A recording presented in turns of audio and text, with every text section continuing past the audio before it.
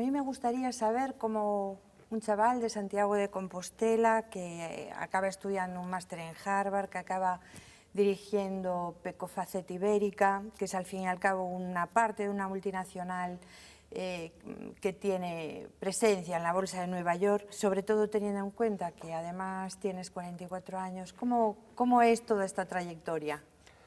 Bueno, eh, creo que la, receta es muy simple, es trabajar duro. Eh, creo que la gente eh, a veces eh, parece que no hay, eh, que las cosas llegan rodadas, cuando en realidad todo viene dado después de trabajar mucho en distintos campos y durante mucho tiempo.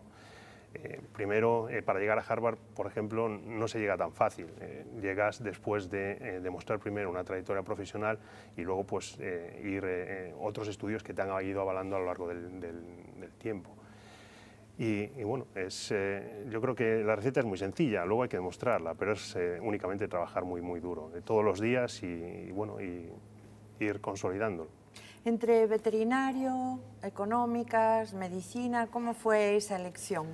No, es curioso, no, sé si lo sabes, eh, yo empecé la carrera de veterinaria. empecé y, y, estuve durante cuatro años en la Facultad de Veterinaria en Lugo y luego la verdad es que no, no funcionaba, algo no, no estaba funcionando. Entonces, eh, bueno, eh, tuve la oportunidad de marcharme al Reino Unido, a replantearme todo, empezar de cero, en marcharme al Reino Unido, eh, me fui a estudiar Administración y Dirección de Empresas allá, al fin y al cabo luego, bueno, era un sistema completamente diferente, pero creo que me, me, ayudaba a tener una perspectiva diferente que a lo mejor aquí creía en aquel momento que no podía conseguir. Entonces eh, empecé allí, trabajaba los veranos, trabajaba en lo que podía, fui compaginando los estudios y, los veranos pues bueno, eran duros, pero eh, me, atraía eh, también, por un lado, aprender idiomas, perfeccionar el inglés. el inglés para ir allí ya lo tenía, pero una cosa es ir defendiéndose y otra cosa pues ir perfeccionándolo. Y luego eh, también pues, eh, el ir adquiriendo experiencia que llevaba pues, una desventaja con eh, compañeros y amigos míos que habían empezado la carrera aquí en, Coruña o en Santiago y que bueno, pues a lo mejor ya estaban en camino de acabar y yo estaba empezando. Entonces, bueno, empecé un poquito más tarde que otra gente, pero bueno, fui recuperando terreno, creo. ¿Y, hacia dónde saltaste? De, ¿Acabaste la carrera allí? ¿Y cuál fue tu trayectoria profesional? ¿Desde allí a...? Bueno, después de estar allí trabajando durante una temporada en distintas empresas, haciendo de todo, desde contabilidad, eh, bueno, eh, auxiliar administrativo, pues luego tuve la oportunidad de hacer un máster en Administración y Dirección de Empresas en, Strathclyde, en, Glasgow, que es una universidad muy prestigiosa en el Reino Unido y, bueno, ese, ese, ese año pues también fue de trabajar muchísimo, yo lo recuerdo como creo que el año que más he trabajado en mi vida, trabajaba 13, 14 horas diarias eh, estudiando, yendo, asistiendo a clase. Bueno, era, era, muy duro, no me podía permitir fallar, ¿no? era, era una inversión en tiempo, en dinero, eh, el esfuerzo y, bueno, eh, fueron 12 meses muy, muy intensos que luego se vieron recompensados en, en, haber terminado el curso, haber adquirido distinta distinto enfoque ¿no? de lo que da la carrera propiamente dicha y la experiencia previa que tenía, que no era, no era muy amplia, al menos no en el, en el ámbito de, de, lo que era mi carrera en sí. Entonces, eh, luego, a partir de ahí, eh, me fui a Barcelona, trabajé en, en, el grupo CEA, que me dediqué a marketing durante un año, y, también fue muy interesante, eh, además, eh, incluso comentándolo con compañeros recientemente, pues eh, el enfoque en, marketing se trabajaba mucho por objetivos, las remuneraciones eran también por objetivos, era una vida un tanto dura y lo ves, lo ves en perspectiva, lo ves de una manera interesante. Y luego pues me surgió la oportunidad de venirme para aquí, me llamó en su momento, hace ya 14 años, el, director general de, de PECO Facet Ibérica, en, en aquel momento era Facet Ibérica, y, me llamó para eh, pues, eh, estar, entrar eh, de adjunto a dirección, porque él, está adquiriendo la responsabilidad de toda Europa y necesitaba alguien que le ayudase en la gestión más cercana de la compañía, en, la gestión de, las instalaciones aquí en Arteixo y ayudarle también pues, eh, con, la formación que tenía y, el idioma, eh, pues también ayudarle pues, en esa proyección eh, internacional que estaba adquiriendo él. Entonces pues me vine para aquí, trabajé muy muy duro también, creo que fueron ocho años en donde aprendí muchísimo, él es una persona que bueno, se jubiló recientemente, pero estuvo, eh, llevó la compañía durante 35 años eh, en crecimiento continuo y, tuve la oportunidad de aprender muchísimo con él.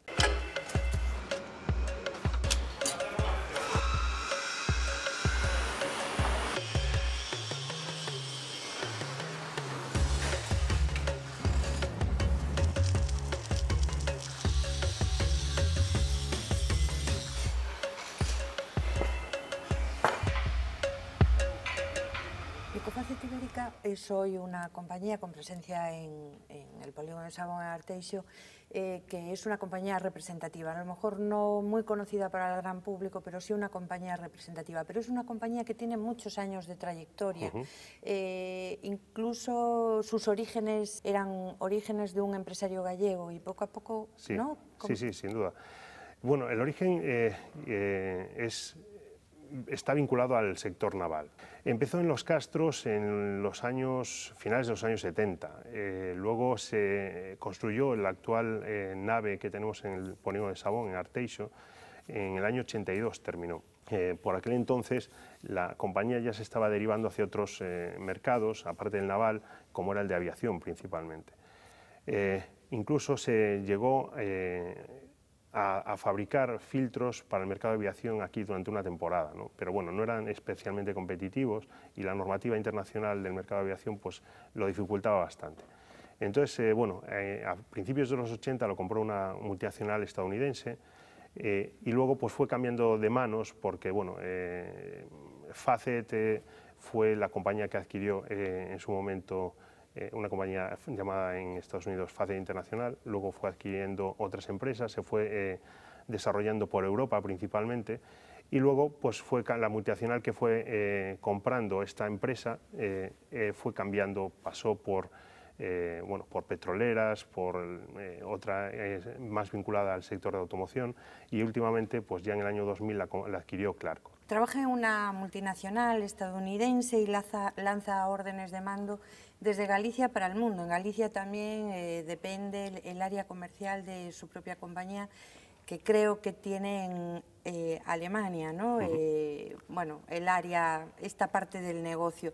¿Cómo se hace? ¿Cómo se lanzan esas órdenes de mando desde Arteixo, que parece el rincón del mundo, hacia, hacia todo el mundo y se hacen negocios así? Todo tiene un principio y un fin. esto es, yo empiezo las presentaciones mostrando el mapa del mundo en donde eh, bueno, España realmente y Arteixo en concreto pues está en el centro del mundo. ¿no? Entonces, eso que está al fin del mundo, la realidad es que no, estamos en el centro del mundo, con lo que en realidad todo me queda a todos lados. Entonces es más fácil, ¿no? es una cuestión de perspectiva. Hemos ido evolucionando, la compañía mm, eh, va creciendo, se mueve de en un entorno dinámico, el entorno es cada vez más global y más fácil de acceder, las distancias cada vez son más cortas, de, alguna manera. ¿no? Las comunicaciones nos permiten, eh, desde las telecomunicaciones o el transporte por avión, eh, permite todo una cercanía que hace casi 10 años o 14 años cuando entré, pues estábamos casi en los albores de Internet, era más complicado. Eh, a día de hoy tengo videoconferencia con casi todo el mundo y de manera diaria. yo creo que la comunicación es más fluida, ¿Cómo se hace? Pues bueno, con respeto y trabajando mucho, sabiendo cómo está la situación en cada, en cada sitio, eh, siendo innovador y, bueno, y, gestionando las personas, porque la compañía son la forma de las personas. Y teniendo un buen equipo, pues eh, es muy fácil eh, trabajar y, tener una respuesta apropiada en cada sitio. ¿Cómo ven los norteamericanos que Facet Ibérica Pecofacet Ibérica tenga su sede en Arteixo y no la tenga en Madrid o en Barcelona como suelen tenerlas casi todas las compañías? Mm, bueno, yo creo que no nos lo hemos planteado nunca. Eh, sí que es cierto que Madrid y Barcelona no permiten eh, la flexibilidad que tenemos nosotros, ¿no? E incluso de, adquirir buenos profesionales. Eh, volvemos a los orígenes de la compañía. somos gran parte de nuestro ADN está en el sector naval y nosotros en el sector naval estamos en el sitio apropiado. Luego, el, estar en Madrid y Barcelona nos permitiría menos flexibilidad en cuanto el mercado laboral. La flexibilidad del mercado laboral aquí en Galicia, pues bueno, eh, es más, eh, más fácil encontrar a buenos profesionales, los costes son un poco menores que, eh, en, otros, en otras regiones de España. Bueno, yo creo que es un equilibrio. A la gente de Estados Unidos, pues yo creo que no se ha planteado si debemos estar en otro lado. Estamos en un sitio que a todo el mundo que viene le encanta y, yo además capitalizo el, bueno, el recurso de estar aquí en Galicia y, el entorno que tenemos. Entonces, bueno, todo el mundo disfruta. Eh, ¿Usted qué prefiere? Eh, ¿Ingenieros americanos, alemanes, eh, gallegos? Yo prefiero ingenieros gallegos. ¿Y por qué? Bueno, estamos aquí en Galicia. Yo creo que una de las cosas que tenemos que tener en cuenta es la gente y la sociedad en la que estamos, el entorno más cercano y ser responsables con ellos. Nosotros, pues bueno, trabajamos y operamos en esta, en esta región. Es cierto que desde aquí trabajamos globalmente, el tener las personas que se forman aquí, pues es como eh, repercutir eh, el, esfuerzo y los beneficios que la organización genera en, esta región, pues repercutirlos también en la sociedad más cercana. Entonces, a mí me gusta eh, incorporar a la gente del entorno más cercano y en este caso, pues si son ingenieros o economistas o cualquier otra cosa, pues me gusta que sean de las facultades eh, que están en Galicia. ¿El nivel competitivo de ellos es está a la altura? Sí, sí, a la altura de cualquier otra, otro profesional a nivel mundial. ¿Qué le resulta más difícil para una multinacional que opera en el mundo desde Galicia? ¿Qué es lo que a usted le resulta más complicado? Lo que me resulta más complicado es eh, el tener tres aeropuertos en lugar de uno que sea competitivo y con... Eh, y con un gran número de conexiones a nivel nacional e internacional. Ahora tenemos eh, tres aeropuertos mal conectados, con pocas conexiones, que, realmente nos dan muchos dolores de cabeza eh, para, para, organizar los viajes y para recibir a gente de, de, distintos países. ¿A ustedes normalmente de dónde, de dónde reciben las visitas? ¿Quiénes son los clientes? Bueno, de todo el mundo. Eh, solo la última semana, en los últimos siete días, eh, creo que hemos tenido gente desde Japón, Alemania, Francia, Reino Unido. Mayormente son europeos, pero eh, de cualquier parte del mundo, desde Australia. Yo le he escuchado alguna vez bueno, ser crítico con el impuesto de sociedades. bueno, el impuesto de sociedades creo que en el, mundo actual, eh, la fiscalidad de las sociedades eh, es algo a tener en cuenta y que están teniendo en cuenta los países eh, en sus políticas fiscales para, bueno, para evitar la deslocalización de las compañías y para atraer inversiones. Creo, y es una opinión personal, que es acertado el bajar el impuesto de sociedades en España del 30% que teníamos hasta hace poco al 25% que va a ser el año que viene, con, con este año de transición al 28%. La verdad es que España con un 30% está en el margen alto de impuestos de sociedades y, un poco la filosofía o la lógica de bajar el impuesto de sociedades es mejorar la competitividad, mm, eh, favorecer el crecimiento y como, como conclusión final favorecer la creación de empleo. Entonces creo que ha sido acertado eh, esa política. Eh, es discutible si podría ser bajarse un poquito más o no, pero bueno, es cierto que Europa maneja unos, unas tasas de entre el 10 y el 38%, creo recordar, en impuestos de sociedades. Y bueno, eh, teniendo como referencia Holanda con un 25 o Reino Unido con un 21, pues yo creo que estaría, estaríamos mejor.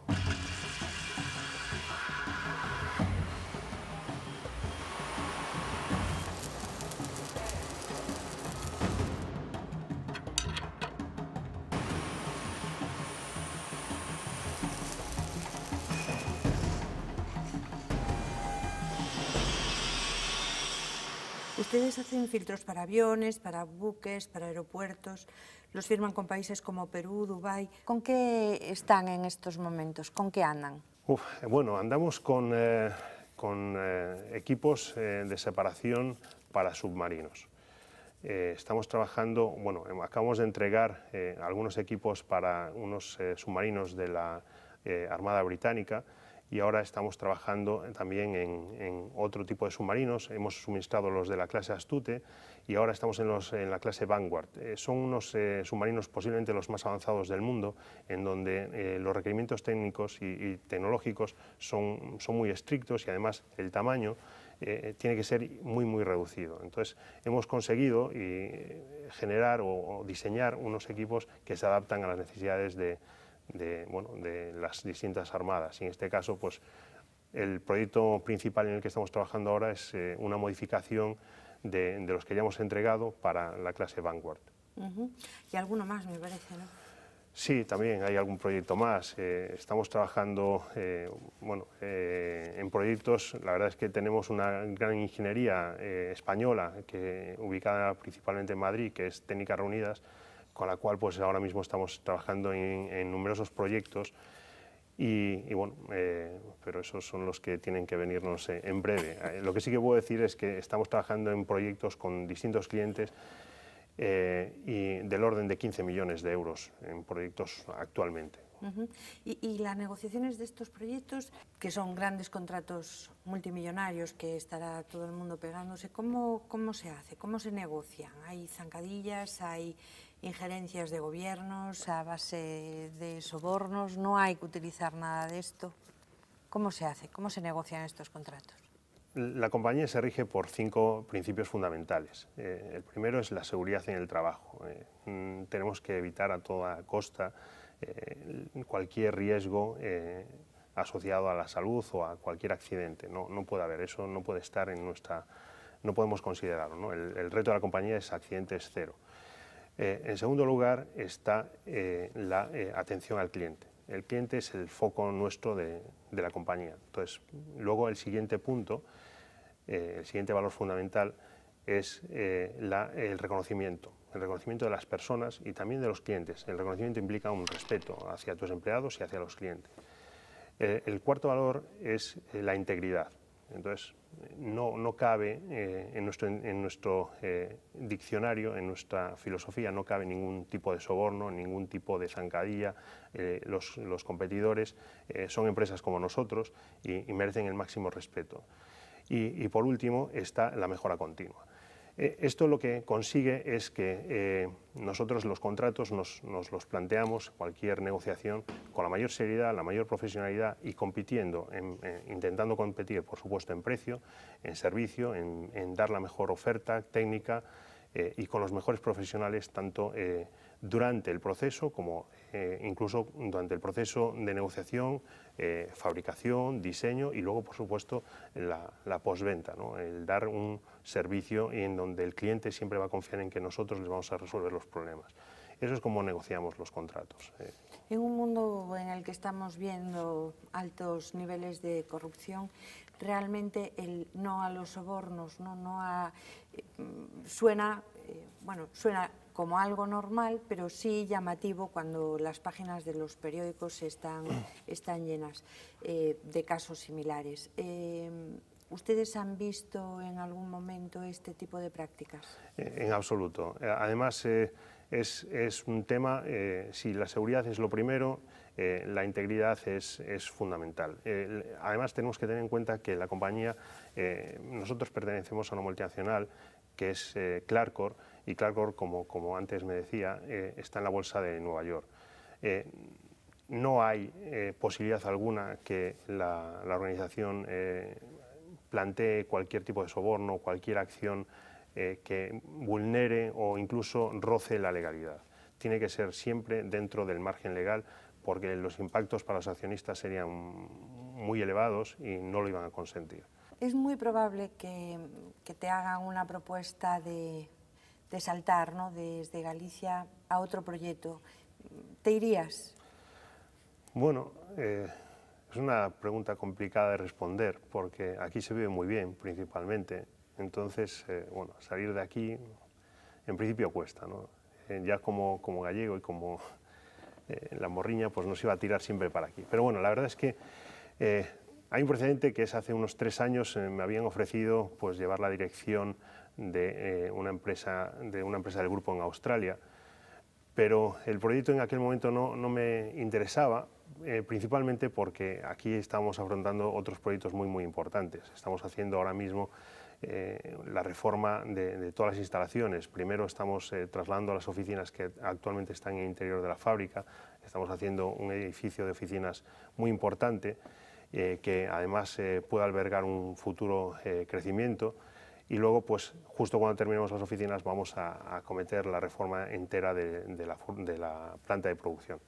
Entonces, eh, estaba ya trabajando en eso, llevaba dos años trabajando en ese proyecto, y no vi ese, el momento oportuno de decir, aunque Australia se ve bien, conozco, además eh, tengo la oportunidad de conocer Australia y la zona de Perth es espectacular, pero no era el momento. Entonces, pues, eh, y luego pasan los momentos y posiblemente al final ya no te cambias. Pero es fácil decir que no en una multinacional y no quedarse estancado o, que no te vuelvan a tener en cuenta. Eh, creo que sí, creo que es, eh, es fácil quedarse estancado si, te niegas a, los planteamientos de crecimiento de la compañía. Eh, lo que pasa es que si, a mí me, realmente me ofrecieran un proyecto interesante, pues habría que estudiarlo, pero tenía que ser muy interesante. Actualmente desde aquí ya llevamos eh, muchas cosas. Eh, desde aquí pues, estamos controlando eh, la estrategia a nivel mundial del sector naval, del sector de medio ambiente. hay otras partes como el mercado de aviación que bueno, con otros compañeros pues, lo estamos coliderando. Es decir, que desde aquí también podemos hacer muchas cosas a nivel mundial. la semana pasada estuvo, las dos últimas semanas estuvo mi director comercial 15 días por Latinoamérica, pues trabajando con, con los que, nuestros colegas de Brasil, y recorrió en dos semanas cinco países, visitando numerosos clientes. Bueno, desde aquí se pueden hacer muchas cosas también. Entonces los norteamericanos entendieron ese no. Creo que sí. ¿Cómo prosiguen los dos proyectos de los floteles para PEMES? Los famosos floteles. los famosos floteles, sí. Bueno, eh, la verdad es que hemos eh, entregado, eh, hemos conseguido, afortunadamente, los pedidos de las plantas de tratamiento de aguas residuales y los separadores de sentinas y los cuales pues, bueno, ya hemos entregado y suministrado tanto a Navantia como a Barreras, que son los dos adjudicatarios, un flotel cada uno.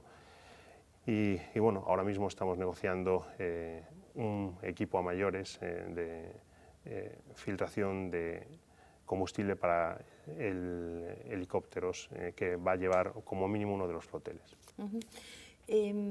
Teniendo en cuenta la situación de PEMES, bueno, sus proyectos con Galicia iban a ser eh, mucho más amplios de los que en realidad son, se han ido recortando. En parte tiene que ver eh, tanto de PEMES como de otras industrias parecidas por el precio del petróleo, ¿no?